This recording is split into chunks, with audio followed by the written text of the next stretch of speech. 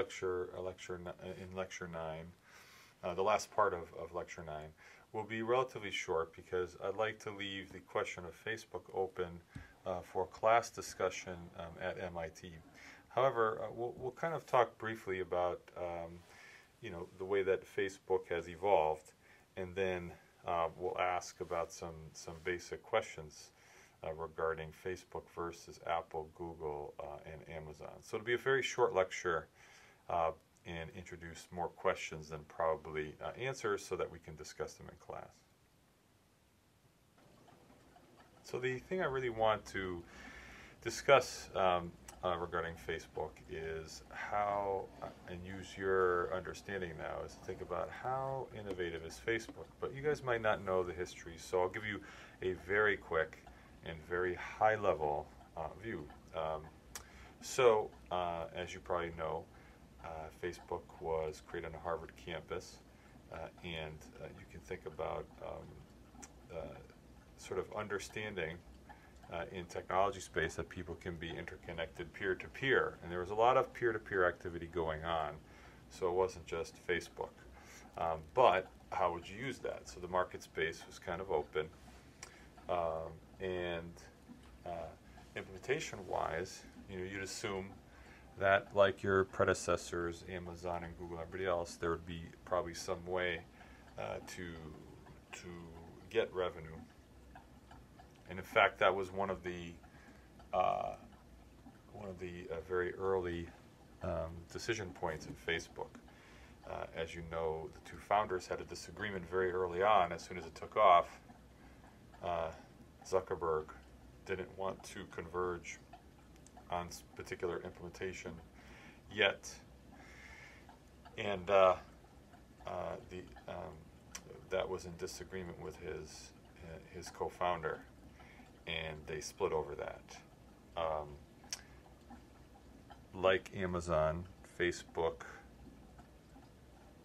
without refining its implementation, uh, decided to use investor capital to increase its user base. And here we are today.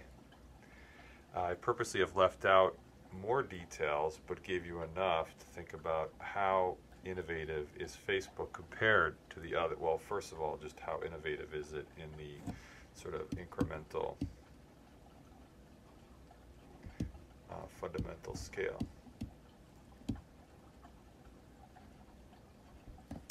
Second, uh, thing I want you to think about is to think about the, um, in lecture nine, we've covered Apple, Facebook, Amazon, and Google.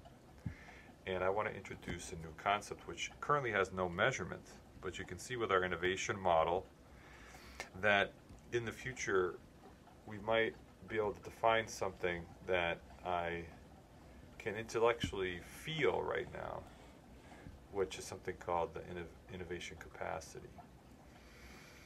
Um, and and again, this comes about because of our model and because of what we're doing here.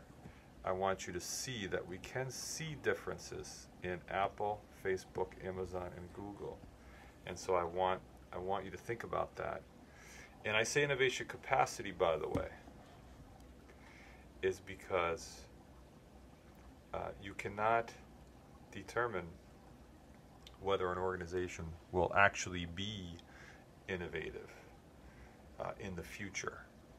And the reason is that you could have a horrible CEO, for example, come in, like uh, other companies where people have come in and there's been all of a sudden a loss of momentum and a loss of innovation because they inherently don't understand the types of processes that we've been talking about.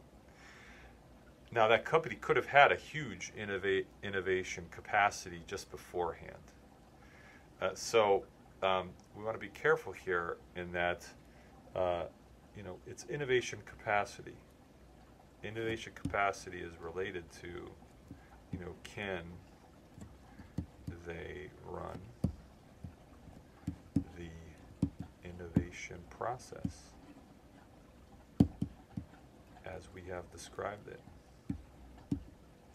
create higher revenue and new businesses. or, or improve their existing one. And uh, think about that. And that ends uh, lecture nine, which is covering the uh, sort of modern uh, companies that I think everybody thinks about when they think about uh, innovation.